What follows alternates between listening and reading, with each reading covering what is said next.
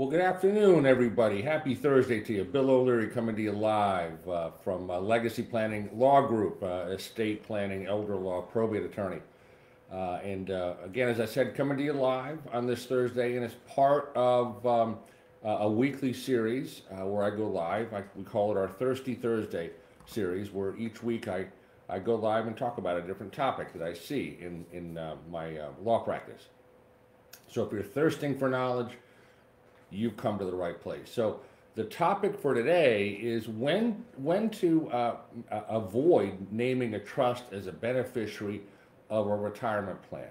Okay, so look, naming a trust as a beneficiary of your retirement plan can be a good idea. It really can. We do quite a bit of that kind of planning, but it can present an issue. The issue is if uh, if possibly a creditor that you have that you did not take care of uh, by way of paying the bill. After you die, they may come after your estate. So, look, there are, as I said, a lot of good reasons to name a trust as a beneficiary of a retirement plan, whether it's a an IRA, a 401k, 403b, um, TSP, that sort of thing. If the IRA beneficiary is young, let's say disabled, or maybe for some other uh, reasons, maybe they shouldn't be managing their um, uh, assets in, in a good way. They're, they're not good with money the trust can provide that kind of management and protection. Maybe people in a second marriage or relationship may want the spouse or partner to benefit from the funds after they die for sure, but not uh, allowing them to be able to deplete the account and then have nothing, let's say, to uh, ultimately go to the account holders' uh, children. Okay, so what the trust can do is it can ensure that, but also provide protection for the beneficiaries protection against the beneficiary's creditors. And let's say parents of adult children who don't want the inherited retirement account lost to a, you know, a possible divorce by the child or they get into some sort of liability lawsuit, think car accident, they can use a trust as a way to protect the inherited IRA. But here's where the issue is. It's important to be mindful that the trust may not protect your retirement funds from your own creditors if it's not done the right way, if it's not set up the right way. It really depends on how the trust and the beneficiary designation are set up. So let's talk about creditor protection for retirement plans. Your IRA here in Florida enjoys enormous creditor protection during your lifetime. So if you get sued, your IRA is protected under Florida law. That's good but it only that protection only lasts during your lifetime. So um, that protection, protection from your creditor, ends at your death. So it does not apply to an inherited IRAs, whether that's an IRA that you pass on to family members that they inherit, or maybe let's say an IRA that you inherit from let's say mom and dad. Inherited IRAs are subject to the claims of the inherited beneficiaries' creditors uh, under uh, general federal law, although thankfully in Florida we have a statute that does protect the inherited IRAs. But understand that beneficiaries are not going to be liable for your debts, okay? So if your retirement plans pass directly to them, then the assets will be protected, okay, from their debts. The question is whether it's protected from your debts, and it, and it really depends, okay? So let's say you give an individual um, uh, at your death, let's say four hundred thousand dollars, okay? Um, and but you also have four hundred thousand dollars in unpaid bills, and your total estate's five hundred thousand dollars.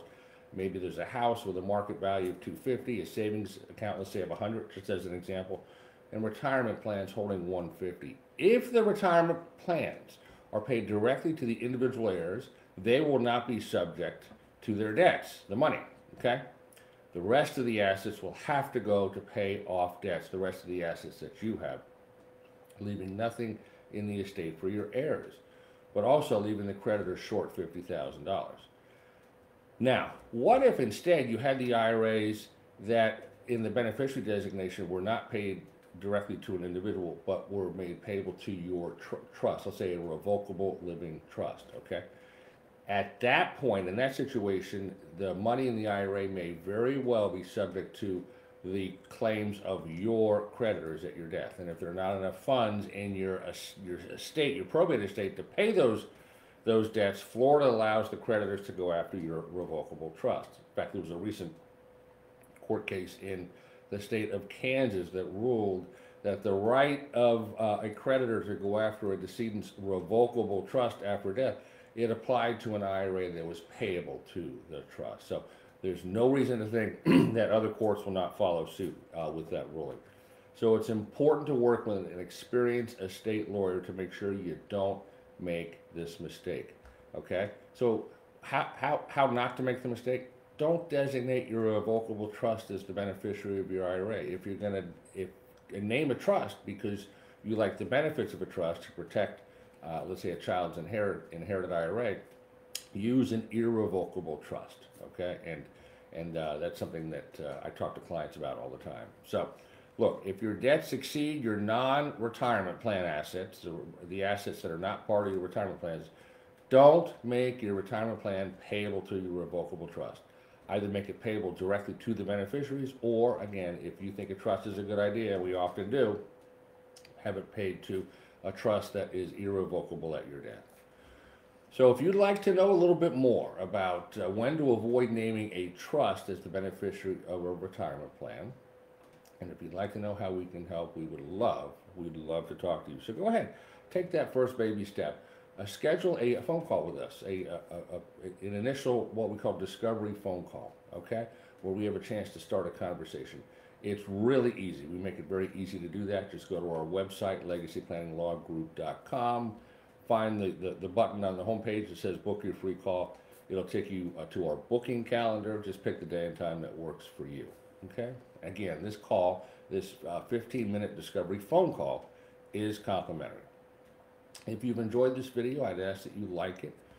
And so, in closing, I hope you've enjoyed this, this talk, which uh, I've called When to Avoid Naming a Trust as the Beneficiary of a Retirement Plan.